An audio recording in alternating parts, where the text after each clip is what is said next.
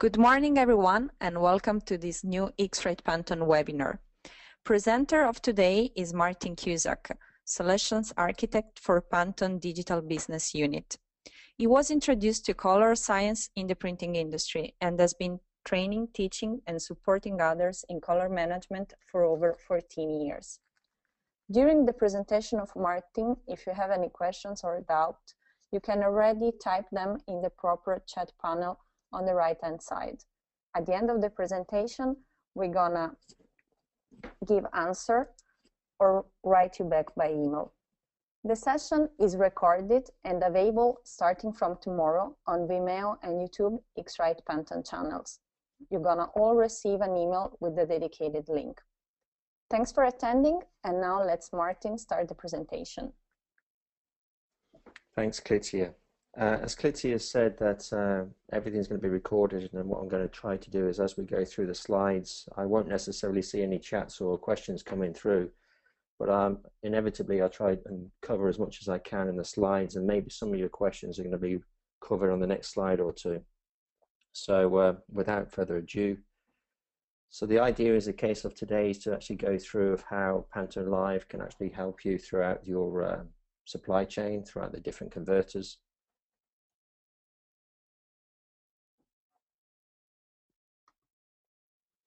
So the main question is, is a case of why is uh, color consistency such a problem? Well, I think a lot of that is actually coming down from our own doing in terms of uh, Pantone. So X-Rite, Pantone, Gretag being the one company. Uh, I think historically is that the fact is that Pantone are the de facto standard in the actual printing industry in a lot of industries now.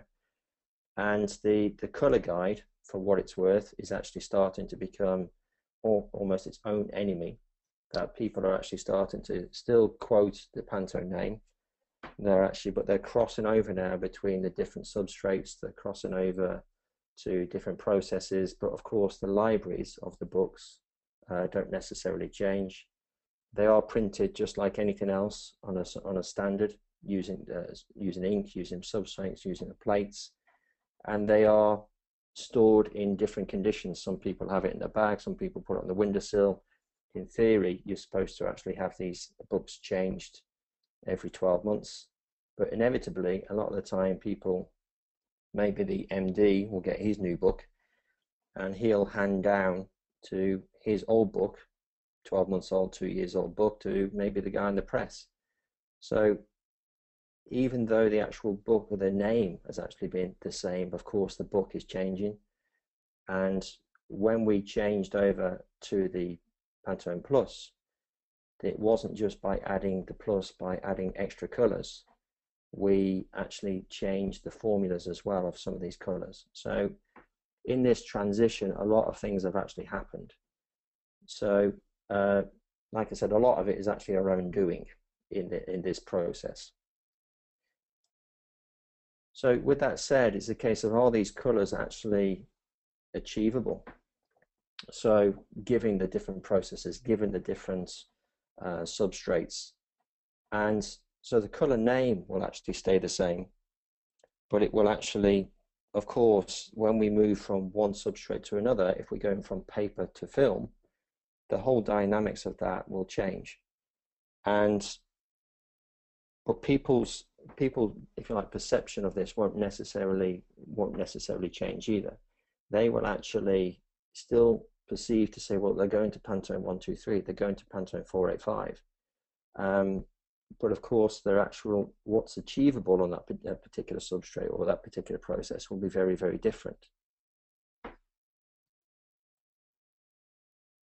so that brings us on to the what we class as the error stack so the error stack actually comes in different forms it's a case of well how are we communicating this standard effectively what is the actual operator using in, in terms of the standard how good is that standard? Is it in a decent condition? What is it in? What type of standard is it in?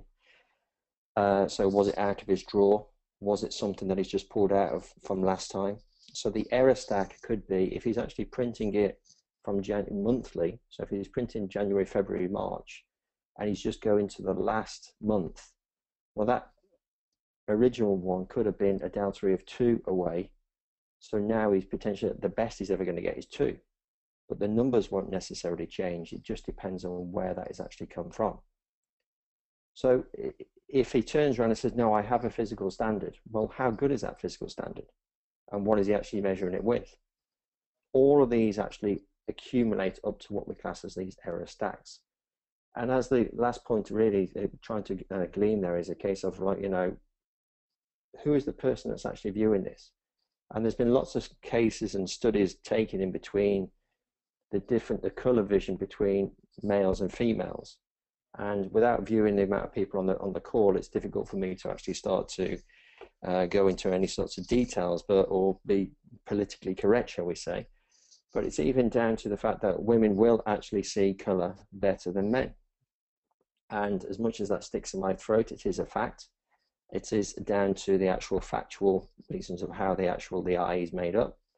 Um, it's in our DNA, etc. And it's even down to even the when we're viewing a color, what are we wearing on that day? So in terms of if you are actually having a bright red jumper, then that will of course affect of how it's the color is reflected back off you. Where are you viewing that stamp, sample? You know, are you actually looking in daylight? Are you looking under fluorescent tubing? All of these things will actually have an impact on the actual color and your perception of that color. So one slide here that's trying to illustrate is this trying to illustrate the fact of how the surrounding color can actually have a big bearing. So okay, so depending on people's screens, this will actually have an effect, but you may or may not be surprised, and some of you may have actually seen this slide already before if you've attended some of our training sessions, but it may surprise you that, or it may not surprise you that this green is actually the same color. But the reason why it didn't look the same color was just because of the surrounding color around it. Now, if we do not have, the whole point of all this slide is a case of if we don't have consistent measuring instruments or consistent way of actually communicating color, then we can simply just by viewing a color or viewing a sample, we can easily make decisions that aren't correct. And if we measured this green, the likelihood is that we would get obviously get the same number depending on the instrument, depending on the conditions. But we, if we didn't measure it, we could have gone off on a tangent. And in doing that, we've also got the, the communication of color as it stands at the moment. So these are classic sort of phrases that we hear. And you'll hear the actual, well, we just need, it's a little bit flat. Can you put a bit more in it?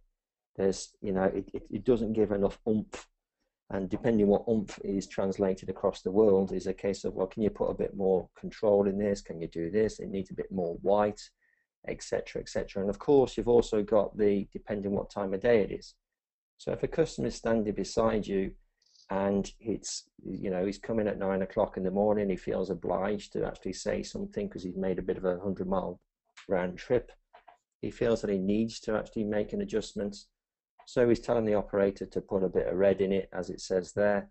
So the operator kindly does that. And by the end of the day, because this guy or lady's got to get off and you know they're going to miss their train, it's now three o'clock. Suddenly it looks great. So you may have actually, operator may have actually come all the way back to the beginning of where he initially started from, but he's just wasted all day in doing so. So these are just some classic phrases that actually come about that we're all used to and we're all familiar with and we all, let's say, tolerate. But at the same time, when we start to talk about trying to put a standardization in, in place, there is almost kickback as to say, well, do we actually need it? And yet we are obliging with some, a lot of these points by actually letting them carry on. So we've also got different variables. So we've just highlighted the fact that we can actually have variable in people and how between men and women, how they see color, how the variable can actually be from, um, if you imagine one substrate to the other, we can have various variables going on there, but also we can actually have variables depending on the actual conditions, depending on the substrate, And is, is it even possible to standardize on the substrate? Well, the substrates of today are actually, uh, where possible, they're trying to be standardized, but they're actually varying to a degree. And uh, speaking from the manufacturer's point of view, we've also got the difference from device to device. So what we've tried to do as of the last few years is try to standardize certain of these types of instruments to, to the XRGA, so the X-Rite Graphic Art Standard. So what we're trying to do there is actually say that from a, a repeatable point of view, from a consistent point of view, we are going to have some standard approach. So when X-Rite and Gretag came together, as much as they may actually have a spectrophotometer each, they would all be slightly different. So the idea of this was to actually just standardize it and actually say this is what we want to work to. So what happens when the starting point is not the same? Well, you're going to get a different reading. That's it. It's just a fact of that. So again, what would from all that point, what we're trying to do is actually put some things in place to make sure that you have some standardization put in place. And one of the biggest factors that is not often considered or thought through is even down to the ink formulation. So we're aiming towards a particular ink, but the ink formulation element is just skipped. But it's absolutely essential that this isn't.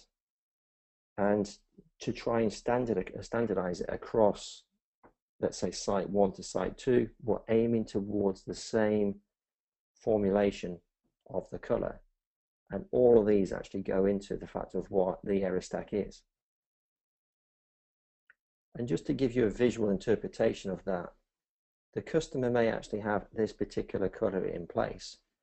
And because if we aren't going to the same standard digital color, and we'll go into maybe what the idea of the conception of that color is, or maybe the, physical the physical, physical Pantone book that that designer has, you can visually see here how that color may get misinterpreted, may get changed, may get amended just because of their interpretation of this error stack.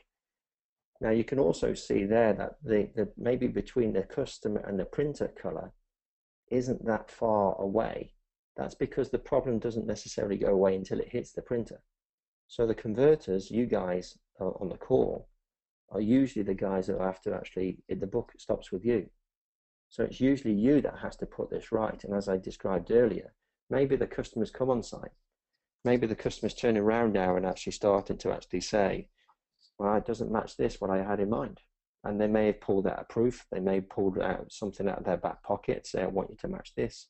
Or, like the phrases earlier was saying, it's too flat. It's too red. I want you to do something about it. So from a visual interpretation, this is exactly what's happening in today's world. So what can we do to actually control this? Well, what we can actually go and do is actually start to put some digitization in place and we can actually start to, and what we have tried to do over the years is actually work to the spectral data. So a lot of our instruments and a lot of our, uh, what we've, our ethos has been tried to be, uh, tried to be done is actually work to this CXF color. So a lot of our applications will allow us to actually load in and communicate and share the CXF color. So it takes away a lot of the ambiguity. It, it takes it comes with all the spectral data is actually included in this color. Everything related in there, it's covering all the light sources, so we're okay with that. So however this color gets, let's say, portrayed, viewed, or analyzed, there's enough information in there that allows the customer the flexibility of doing that. So it's the true DNA of the color, if you like. And again, a lot of this is potential marketing speak, but it is the actual true DNA of the color. So once once the color has actually been measured by, if you imagine exact, now the exact may have actually had the the device has been net profiled. So for the people not familiar with uh, net profile, it's making sure that one instrument to the next instrument are actually consistent. So when we go and measure this color and communicate and share this color around, everybody's therefore going to the same standard. And a lot of the time, people will turn around and say, Yeah, but I've been going to LAB in the past. What's wrong with LAB? Well, LAB is, it doesn't contain all the spectral information. It's locked, if you imagine, to one light source, one condition. So like the light indicators on screen are trying to show you there is that if we move from D50 to another light source, for, for example, fluorescent, that information is not transferred. So when, when your customer, when you produce something on site and your customer is viewing it in their boardroom or somewhere else in store maybe, it's going to have a different characteristics. So it's important that what we do is we communicate via the spectral data. So therefore, this will allow us to actually cover metamerism. So it will allow us to actually cover for the different light changes of how this will affect and won't affect in different conditions. And again, the actual hardware and the software that we we uh, distribute will allow us to actually encompass that. So when the operator is actually making his measurements, he can also view if it's specified by the converter or by the customer he can also look at different lighting conditions live as he as he's producing. He doesn't have to keep his fingers crossed when he's produced it and then worry about it later. So there are advantage another main advantage of just using the spectral data over LAB. The next thing of course is to try and help this is just the, the communication all round. So if we actually pull the standards from a single source, and that's what the Pantone Live part is about, is that what trying to do is actually just centralize our color data. So we actually have the ideal digital references that are achievable. Now we'll come on to that in a minute, that there is achievable conditions, achievable processes that allow us to actually effectively centralize this color data and then different people in the supply chain, different people from site to site, can actually, from let's say country to country, can access this Pantone Live database and actually start to actually then go to achievable results. So it's not just about um, standardizing your instrument, but also trying to standardize on the, the color and the, the, the, your processes that are going through. In relation to these standards, we have what we call master and dependent standards. So the master standard, in effect, would be your Pantone book. So if you think of it like that. And the dependent, as the name would actually say, is a case of a, we as Pantone X-Rite have actually gone and produced these dependent libraries, dependent on the process, dependent on the substrate, and we are in the cloud giving people the access to both the master and the dependent libraries. So if you are producing on film and it's Flexo, you and then you're doing Pantone 485, for example, you would actually go to the dependent library over and above the master one. So therefore, as the screen is showing you on the right-hand side, is that the cluster around that you're aiming towards, or the, the circle that you're aiming towards, is more realistic and achievable than if you were to go to the master. So the tolerances that customers are now banding around on average would be a delta of three. Uh, and, and we can argue all day whether three is negligible, etc., etc. On, well, my customers are only saying two, and what about the delta E equation? All of these are, are good points. But what we're trying to do here is actually at least give people achievable and predictable results. So therefore, they can actually be a bit more efficient and they do not have to get beaten up by their customers to say, well, it doesn't match. Nobody, and I say this honestly, realistically, a lot of the converters and a lot of the printers don't go into work to do a bad job. They are trying to actually go in there to do a decent job, to actually be a bit more efficient, and so they get their boss off their back. So the idea is, is a case of that within all these standards, there is the actual entire spectral data is considered. Within the dependent libraries, we also have the tint information. So all of the information is available depending on what area you actually want to look at. So if a company is actually looking at a 50% tint on a Flexo dependent library, the information is there. So he can actually, he or she can actually go in and take a look at that. But these dependent libraries are a representation of the master. So it's not it's not just a case that we've just gone and printed whatever. They are, of course, a close match, as close as physically possible to the actual representation. Uh, so they are representation of the master. But they are, of course, taken into, into account the substrate they're printed on and the printing process itself.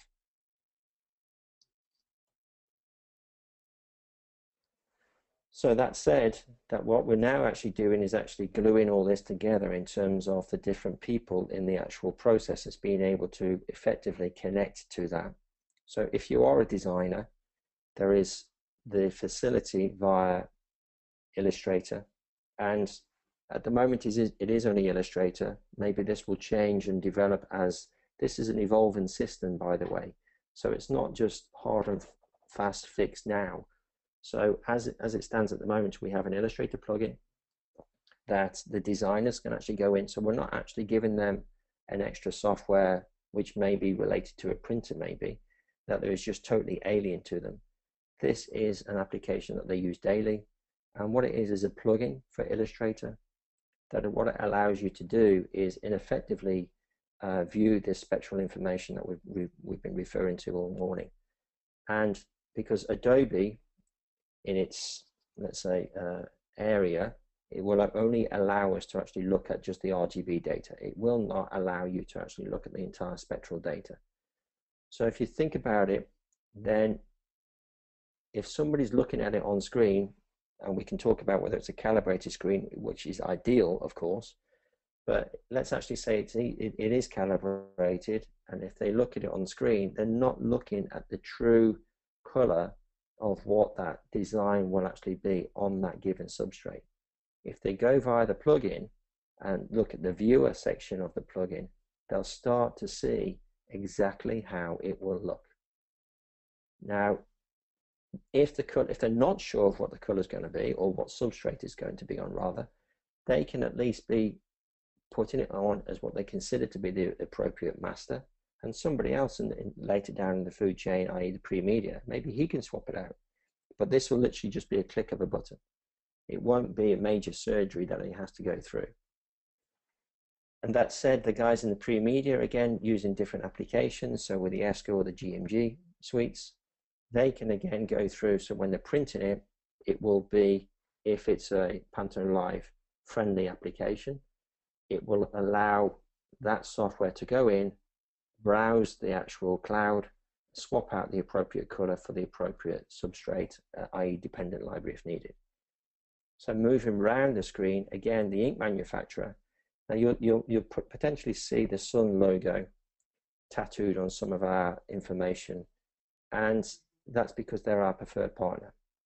But that, that said, it doesn't mean to say that any other ink supplier can't get on board with this. So what we are giving in effect is the, the target to aim to, the standard to aim to.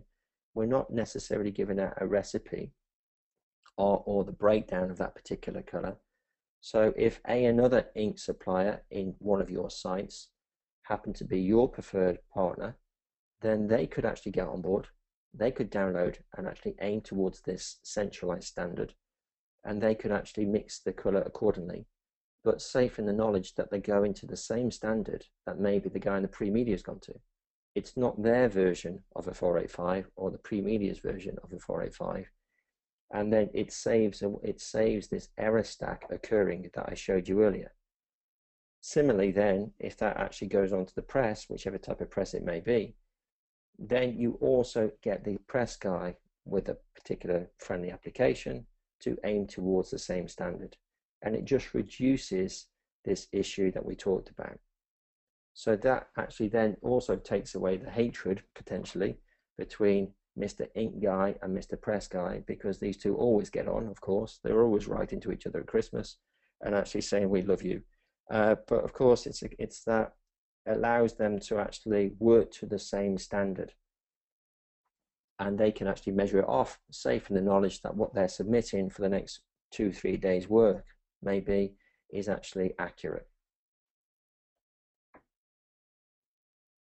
So that said is that there are different applications, as I've already touched on, that actually are Pantone Live friendly.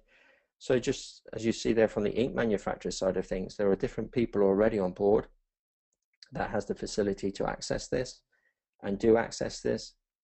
And also you'll see that the exact is XRGA native that said, if somebody has a, a X-Rite SpectroEye uh, and that they've been using it, that too can actually also be upgraded to XRGA.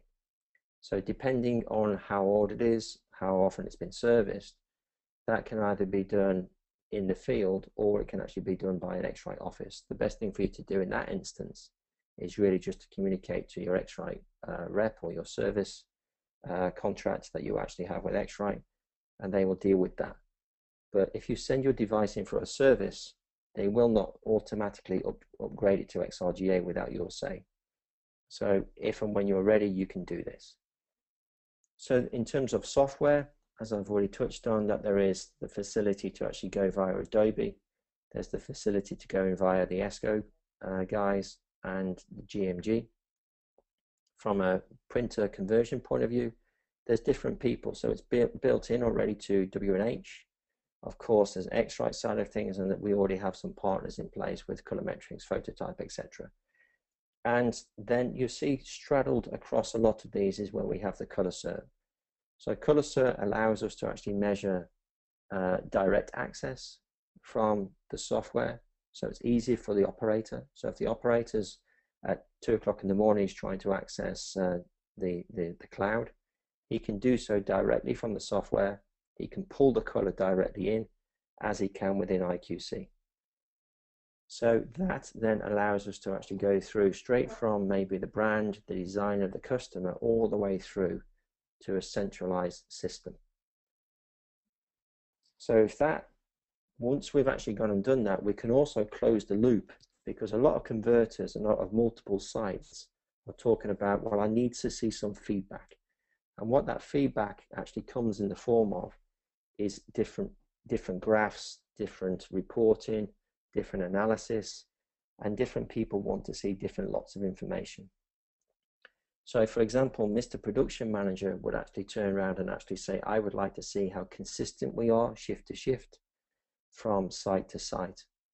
And the operator also would like to, once he's gone and done his measurements, he could potentially just print out a small A4 report that illustrates that that job has passed he's conformed to the so-called tolerances that was either specified by the site or specified by the customer.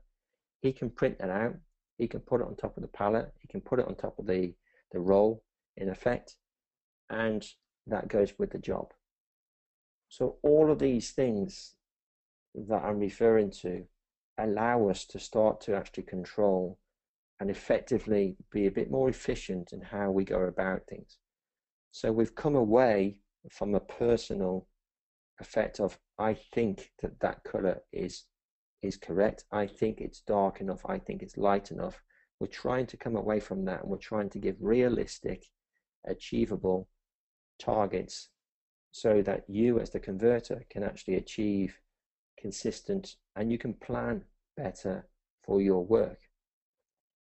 So it, once you've done this, certainly within the ColorCert side of things, if you've got the, the scorecard part of it, then this information can be actually reviewed remotely. You do not have to have the actual software in front of you.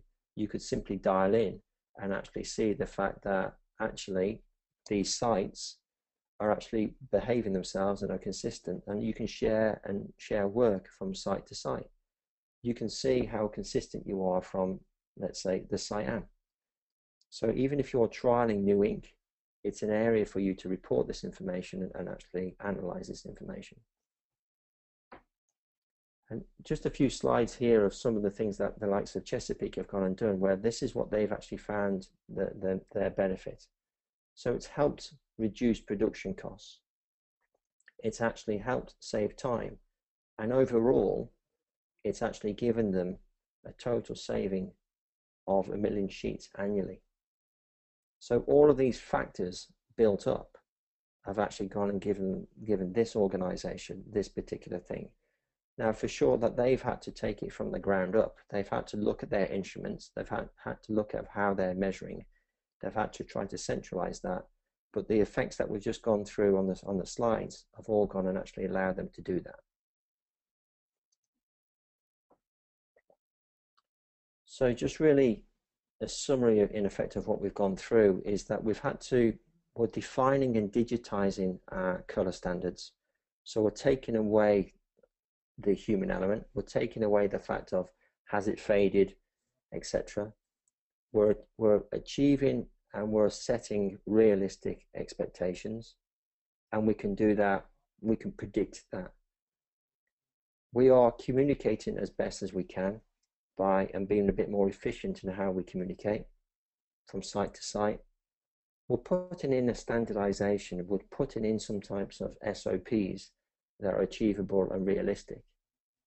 And then to kind of close the loop, to kind of monitor how we're getting on, we're actually getting decent analytical feedback and we're not pressing the panic button if something went wrong as to who did it wrong and why did you do it that way. So those are the type of summary that we've tried to actually illustrate to you today in terms of how these uh, practices can be effectively applied. So with that said, I'll kind of hand it back, if you like, to Clitzia, and we can actually go through any particular questions maybe that people have had. Thank you so much, Martin, for this excellent presentation. So we give couple of minutes to the attendees. And yes, the presentation is uh, available. We have recorded this uh, session, so you're going to receive tomorrow an email with a link to our Vimeo and YouTube channels. So this was the first question, because of course somebody maybe did a login uh, some minutes after that we started. So Martin, we have the first question related to the presentation. Yep. Does the cloud provide actual data for ink formulation for a specified color? No, as I said, that the actual, if you imagine that there's a color a, uh, on on the cloud, it's uh, if the if the user is actually using ink formulation, they would actually download the standard, i.e. 485, and they would actually make the color up themselves depending on the ink type that they were using. So if they're using flint ink, they would actually make their particular color up using that color, their their ingredients, if you like. Okay, the second one, they're asking how, how the master data are measured. Uh, again, it's that's through the actual process that uh, X-Rite and Pantone have gone through. So when we've actually we've gone through the rigorous testing of this, and we we have made it so uh, in conjunction with some of our partners.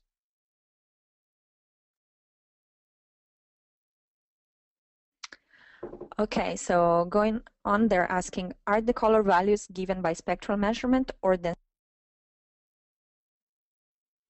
the everything is on online that is so when you actually when you come to download the color it will be a spectral the a spectral data will be available to, to you. Uh, well the color will be available to you. You won't necessarily it's the the, the, the spectral information is protected. So, uh, but everything is there for you. So if you're actually looking at under D50 or D65 or F11, the facility is available for you to actually view all the information you need, put it that way. So we have still uh, four or five uh, questions pending. So the next is uh, who creates dependent standards? Are they created automatically from master standards? again, we've we've gone and done that. So when we've gone through, as this library at the moment is growing, so in effect, we've we've now got 22 libraries. So what we're trying to do is effectively grow that, if you imagine year on year, and until we feel as though maybe I think it's 60 to 65 libraries would actually cover everything that we think is sufficient at the moment, but we've actually got 22.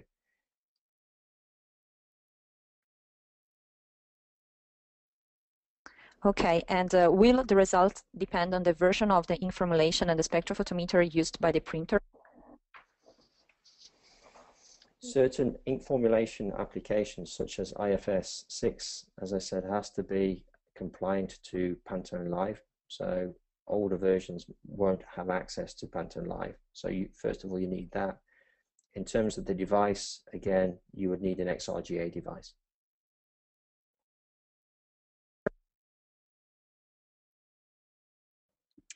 Okay, great.